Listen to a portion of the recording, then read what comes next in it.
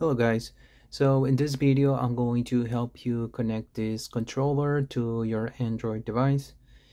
Uh, so this device has two different connections uh, to Android devices.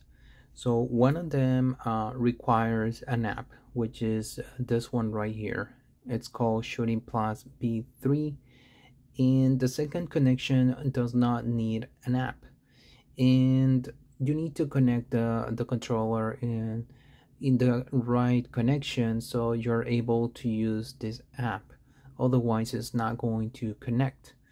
Um, also there's something interesting uh, this game right here Dead Trigger. Uh, this one uh, can be played without an app and I'm going to show you something interesting here um, in a moment so this controller has all these different uh, connections here. And unfortunately I misplaced the manual. And after testing I was able to find some of these combinations here. So the combination for the app is going to be the home button plus A. And this one here represents the light that you will see blinking which is uh, as you can see there are four lights here so light number one is going to blink and you will see the name as X7 in your Bluetooth devices. So the second connectivity is going to be the home plus X button and you will see light number three blink and the name is going to be shown as X7 as well. Um, I wish they could have changed the name so there is no um, confusion, but unfortunately it's a little bit hard to to distinguish them. So let's try the first connection here. So we need to press the uh, right home in a button. So here you see the light blinking, number one. So let's go to our Bluetooth uh, settings here and as you can see here we are shown the device.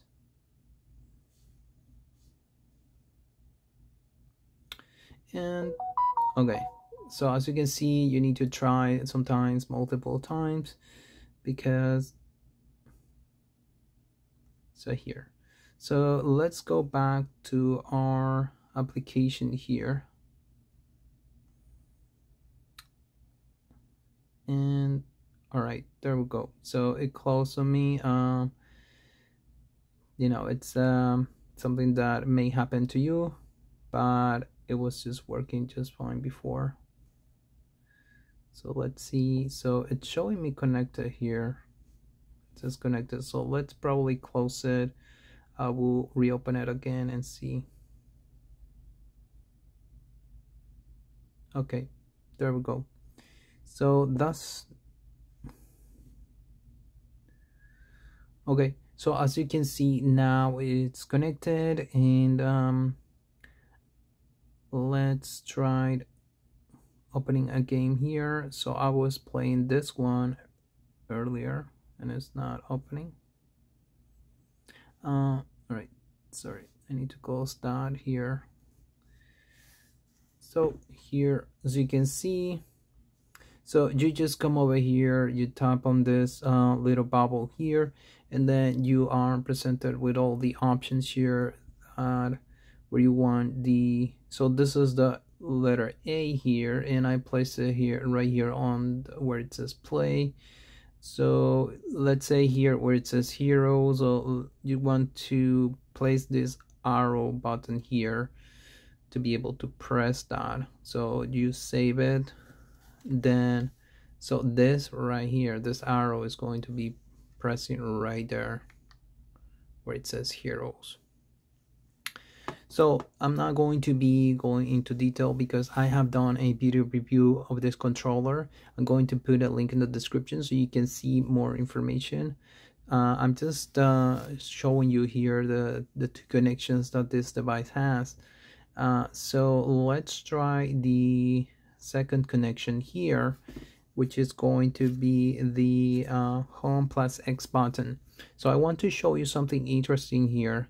So this game it's able to play uh, use the controller without the app so one thing that um, as you can see here I'm in the settings but I don't have any um, I, I don't have the option to be able to uh, modify the controller. So what the what the game offers is that you can assign an action to a button here. So let's say you want to jump and you want to assign it to the button B here. So right now as you can see it's not I don't see that option. And the reason is because the controller is not connected in the right um, connection right now which is going to be the home plus X. Uh, and that's something that may create some problems for you. So let's try and do that connection right now. So to turn it off you press the home button here. You see the the the light turn off. So let's press home plus X. Okay so let's go back to our connections here and as you can see we are shown again the same X7 here. So that's uh, they should have put a different name here to to avoid that confusion but we're going to make that connection now. So now as you can see it's connected. So let's go back to the game that I was showing you right now. And okay let's close that and as you can see now you have that option that says customize game gamepad so some games you um, may not even know that you can use the controller because you don't since you don't have a controller connected you're not going to see this option here until you connect the controller. So once you press that so as you can see here now you have all this um, so some of the actions here so for example the first one says fire here. So you press that and let's say I want to use the letter or actually this one here on the back. So I, I assign the fire uh, action to this button here. So then you have the reload button here. So I'm going to, I'm going to assign it to the letter A let's say.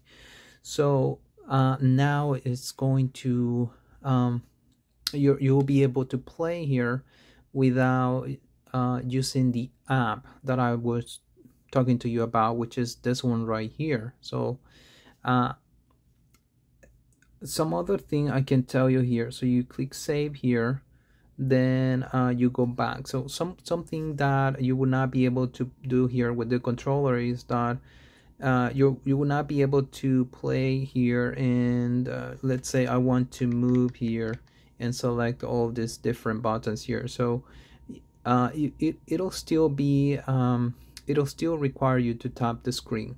So only when you are already in the game uh, you're able to use the controller.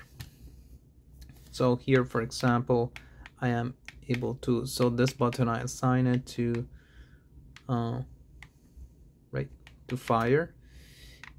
And yeah so those are the two main connections that this uh, controller will offer you for your Android devices.